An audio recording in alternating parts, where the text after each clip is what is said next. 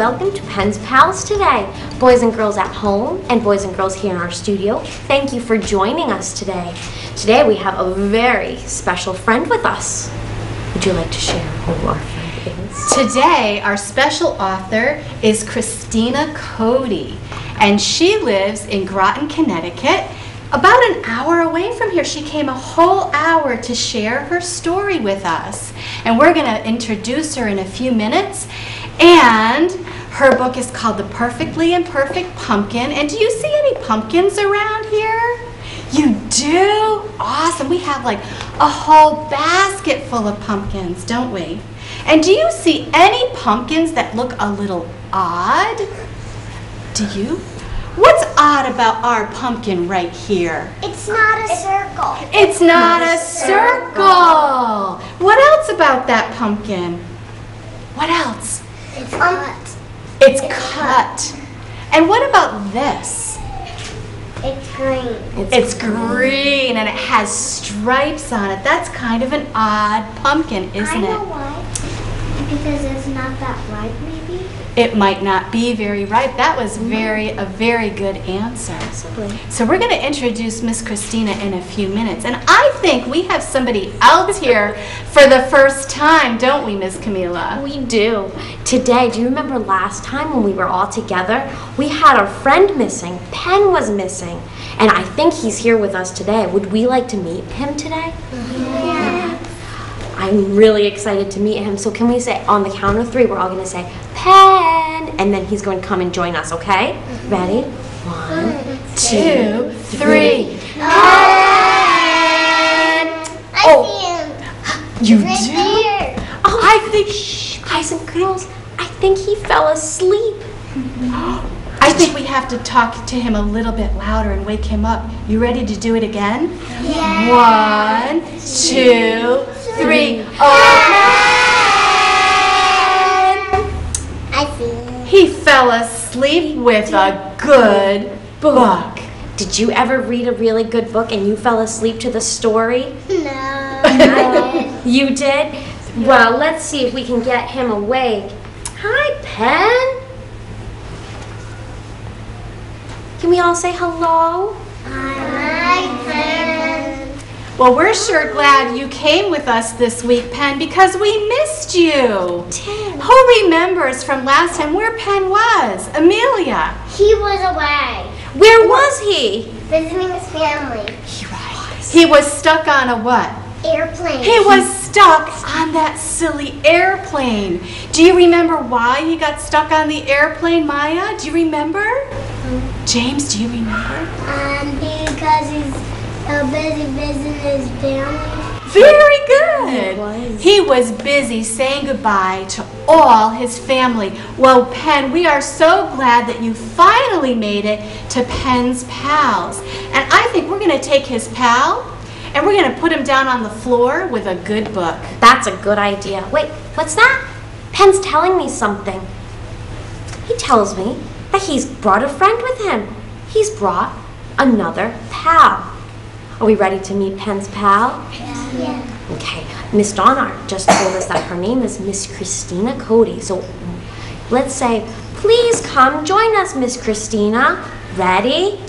Please come join us, Miss Christina. Hi, everyone. Hello. Where's your voices? Say hello, Miss Christina. Hello, Mrs. Krina. Hello, I'm so glad to be here today. Who knows why I am on Penn's Pals today? You do? Because you have the, the, the perfect pumpkin. The Perfectly Imperfect Pumpkin? Absolutely. This was my very first book that I ever wrote. Have you ever written anything or read a really good book?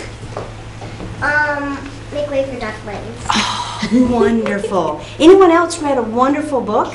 Just raise your hand if you have read a book that you like to read over and over. Very good. Thank you. Okay, Hands down. Good job.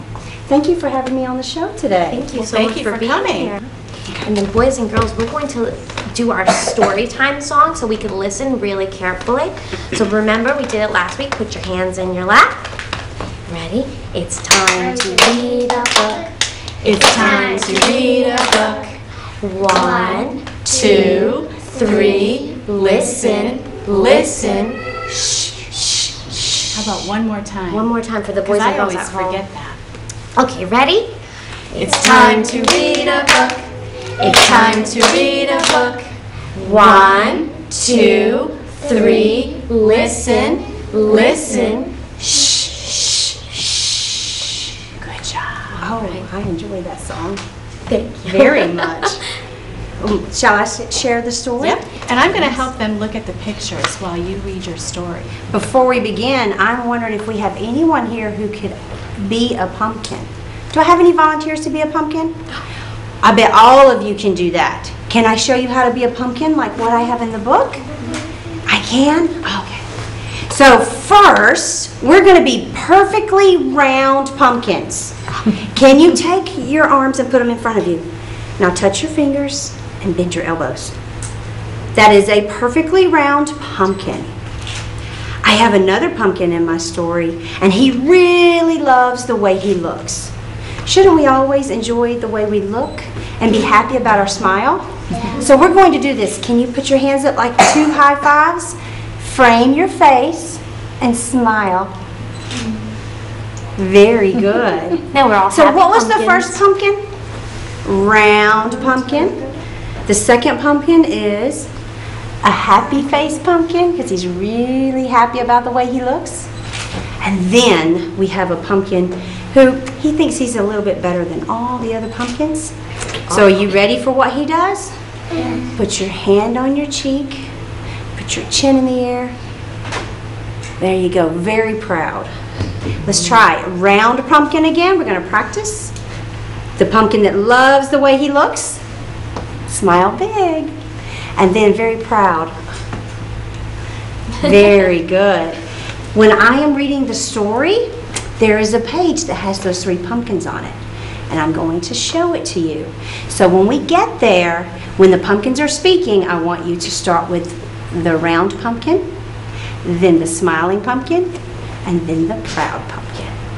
Okay? All right. That would be this page. Do you see that page? Do you see a round pumpkin? Yeah. Do you see the second pumpkin here? He's not smiling very big, but he does love his shade of orange. Then we have a very proud pumpkin. When we get here, what are we going to do, boys and girls? We're going to do our motions. Very good. Oh, you've got it down. Wonderful. So let us read the perfectly imperfect pumpkin.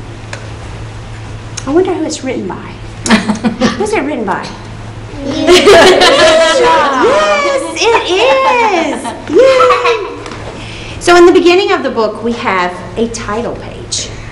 And the title page lets us know, here's the title of the book, but here's the author and the illustrator.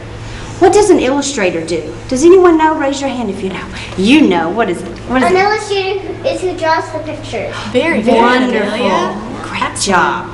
So we have the Perfectly Imperfect Pumpkin title page, and let us begin the story.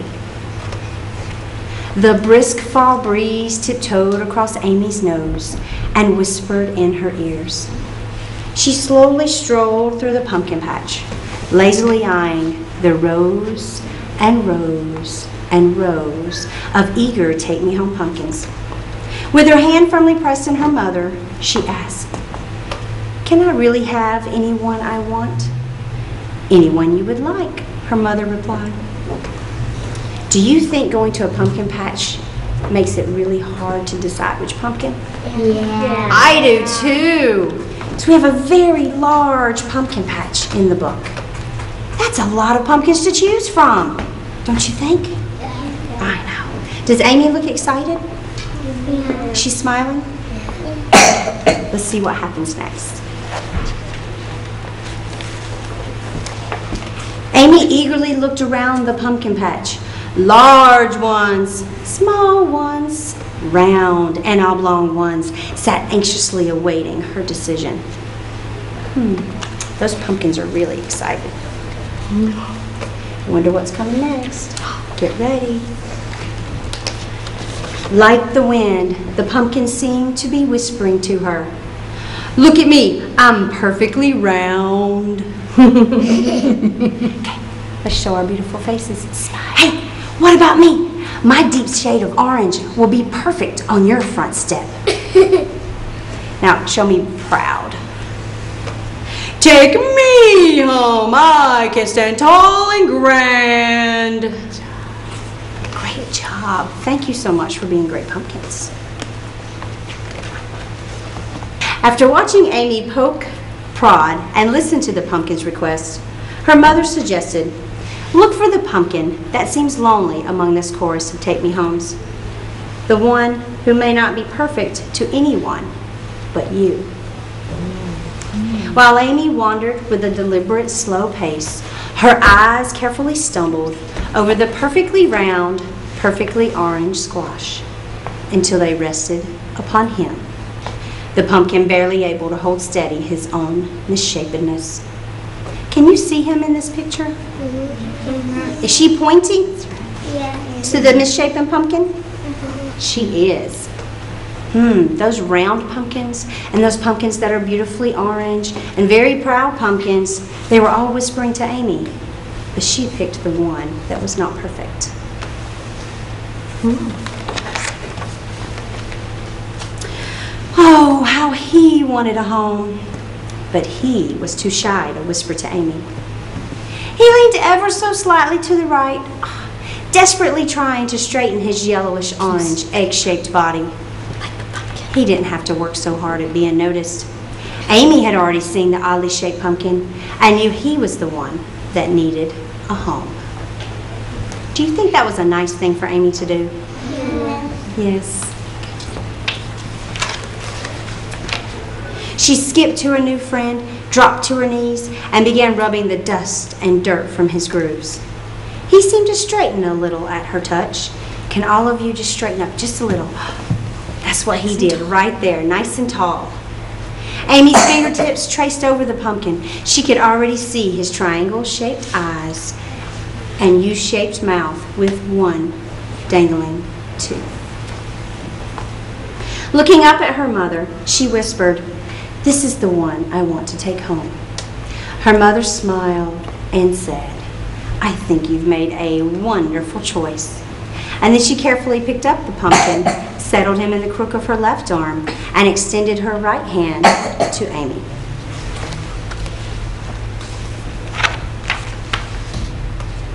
Their fingers found their comfortable, loving embrace, and the three of them headed to the car.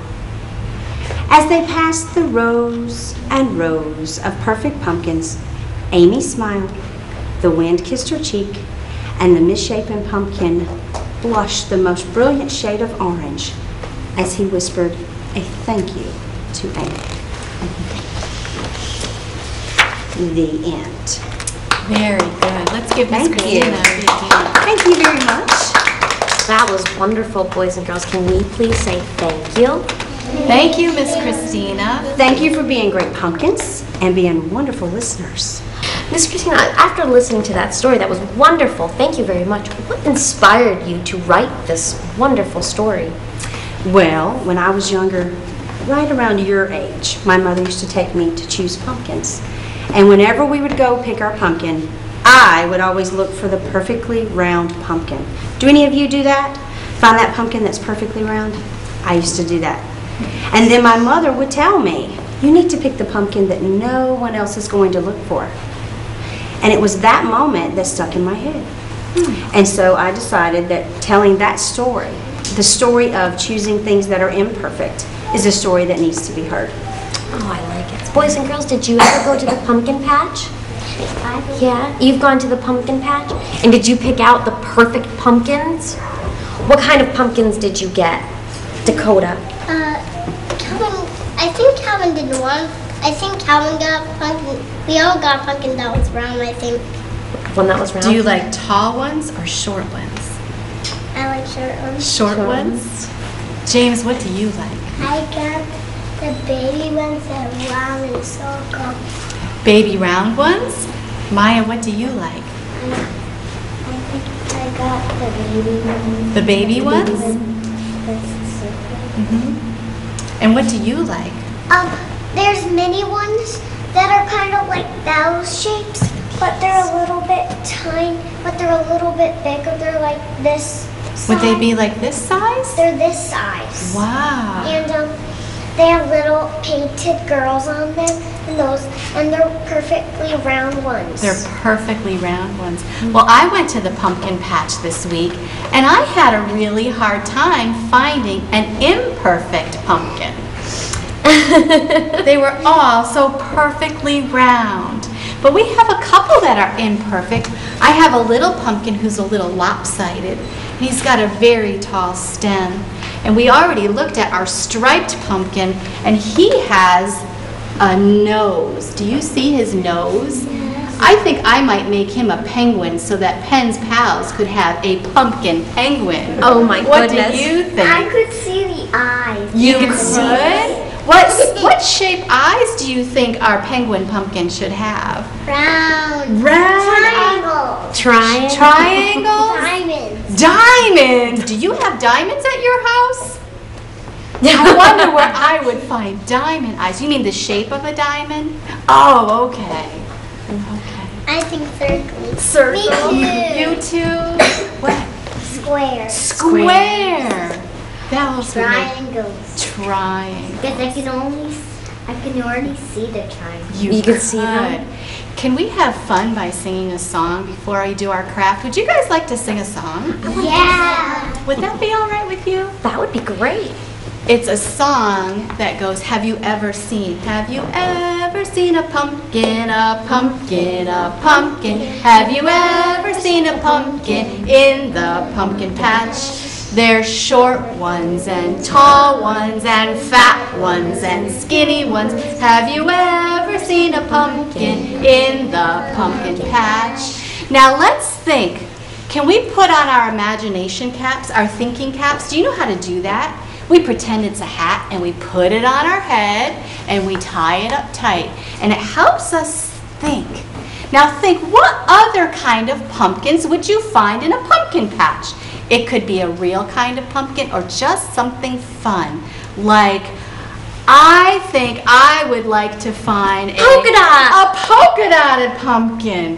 Have you ever seen a pumpkin, a pumpkin, a pumpkin? Have you ever seen a pumpkin in the pumpkin patch?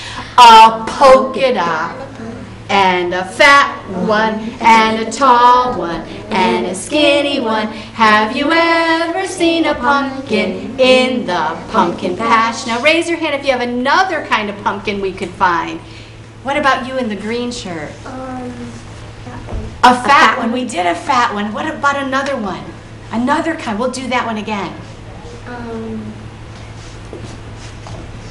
a rainbow. A rainbow. Have you ever seen a pumpkin, a pumpkin, a pumpkin? Have you ever seen a pumpkin in the pumpkin patch? There's polka dots and rainbow ones and short ones and tall ones. Have you ever seen a pumpkin in the pumpkin patch? One more.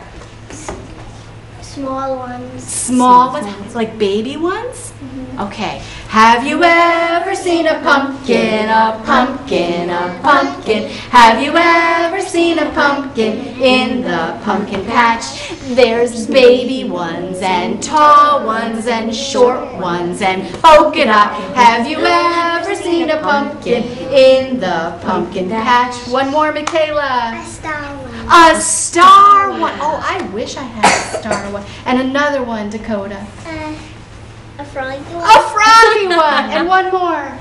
Um, a p- um, a rainbow one. We did like that. one that has like, like a real rainbow. Like a real rainbow. Like one that goes like this. Okay, so we're gonna do a pink one, a pink one, a pink one, and a star one, and a Frog one. and a frog one. Okay, well those are hard. Have you ever seen a pumpkin, a pumpkin, a pumpkin? Have you ever seen a pumpkin in the pumpkin patch?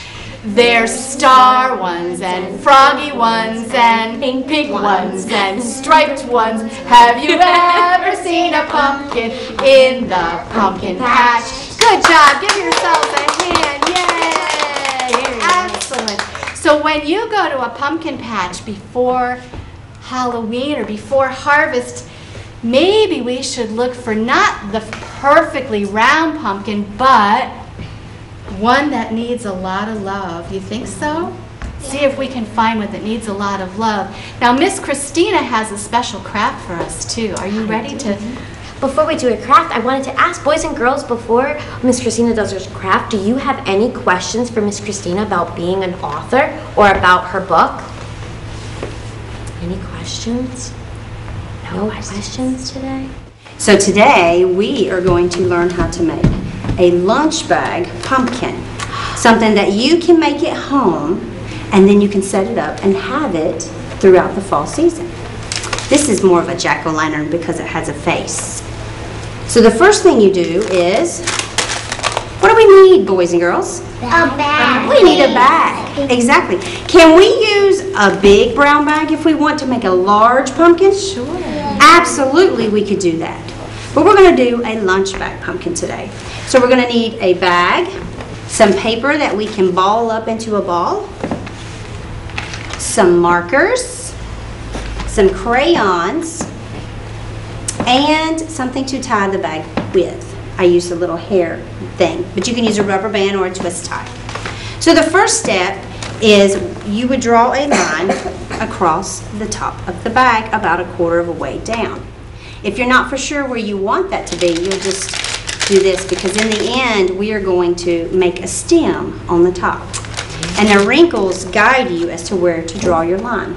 The next step that you're going to color your stem brown and green.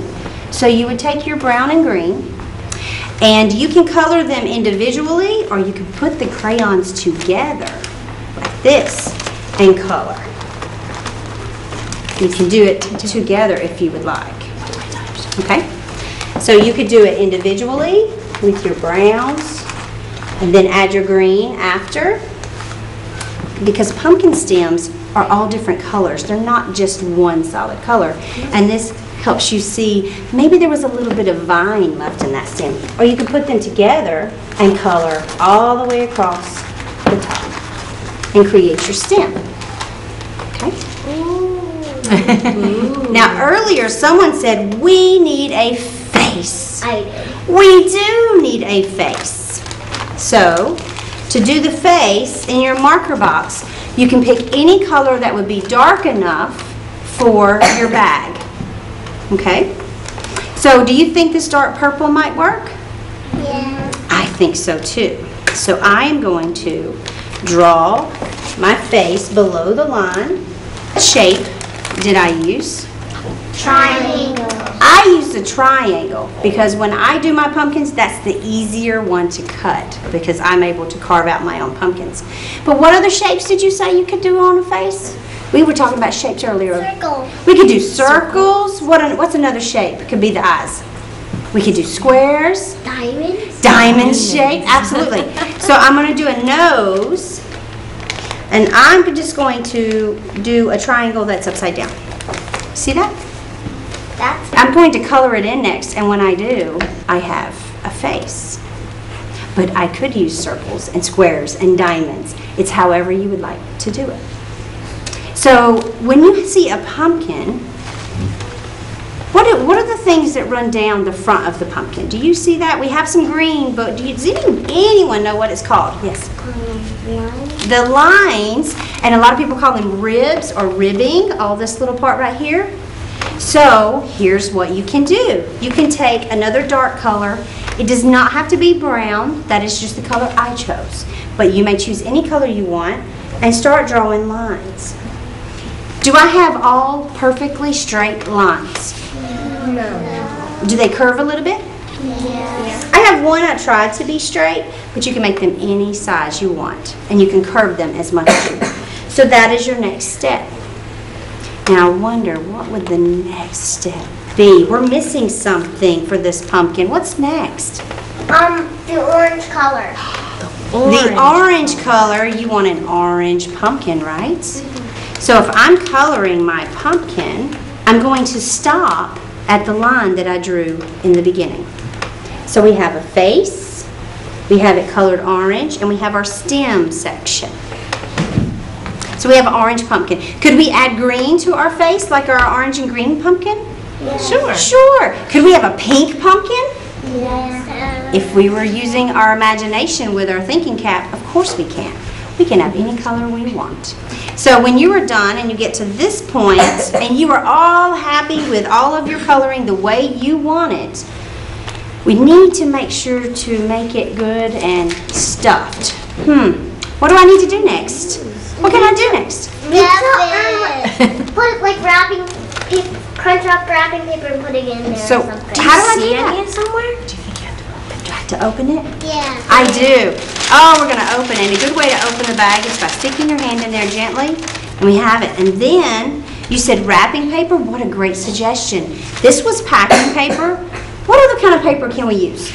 Like tissue paper. Tissue paper, yes. Newspaper. Newspaper. Newspaper. We have all kinds of paper. Now, when I do it, I'm not gonna make a really tight ball. I'm gonna make a nice loose ball.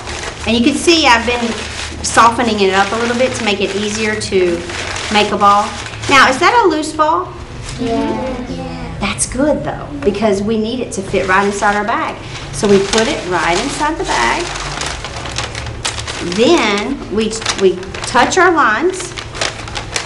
And I want you to see where my fingers, my fingers are in the middle, and I'm just going to push them together. And then, then you might have to do some straightening to see your face, but what's next? Is it gonna stay together, or do I have to? What do I need to do? Oh, I need a band. So we have a twisty tie or a band, a rubber band. So we could do a rubber band to hold it. And if you had a special ribbon that you really like, and it could be a pink ribbon, a purple ribbon, a blue ribbon, a black ribbon, any color you want, or a green ribbon, you could tie that on to be part of the vine or the stem or whatever you need that to be, however you want to dress it up. And then you would have your pumpkin that you could set up around the house for you. Very good. Did you like that, boys and girls? Yeah. And before you leave today, Miss Christina brought enough paper bags and all the instructions for you to make one at home. And boys and girls in our in our audience at home, on our website, oh, you will see the instructions of how to make this pumpkin at home too. So we hope that you enjoyed uh, that little lesson on how to make a paper bag pumpkin. We thank you, Miss Christina. Thank you for having me.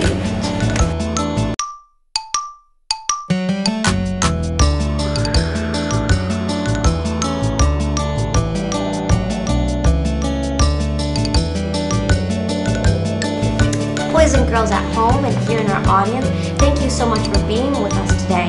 If you would like to know more about our um, show, our Penn's Pals, you can find us on www.penspals.com or you can also find us on Facebook and be a pal.